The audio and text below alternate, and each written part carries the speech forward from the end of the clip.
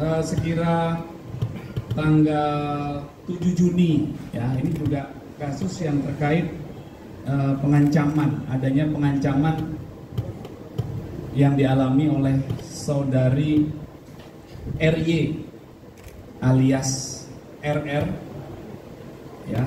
Beliau membuat laporan di tanggal 7 Juni.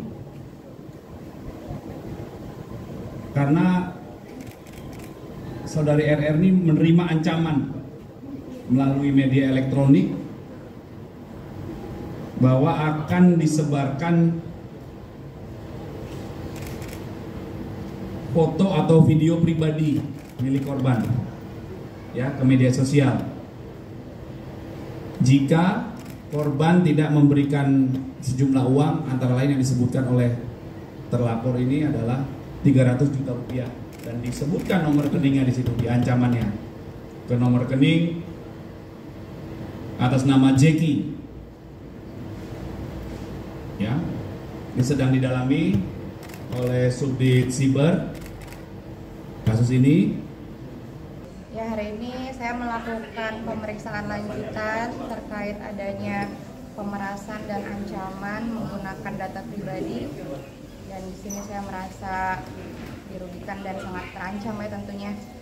Dan bukan ke saya aja tapi ada di beberapa pihak kayak tim manajemen bahkan keluarga orang-orang terdekat juga jadi kena imbasnya.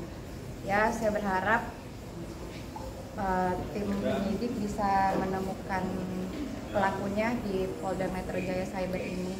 Karena memang penggunaan sosial media sekarang memang udah semakin melebar ya jadi kita takutnya disalahgunakan bukan digunakan yang untuk hal yang positif itu aja ancaman seperti apa sih mbak yang mbak alami selebihnya kita serahkan ke pihak penyidik dan polisi aja karena bukti dan lain-lainnya udah saya serahkan juga ke sana mbak tapi sudah berapa lama mbak dapat ancamannya mbak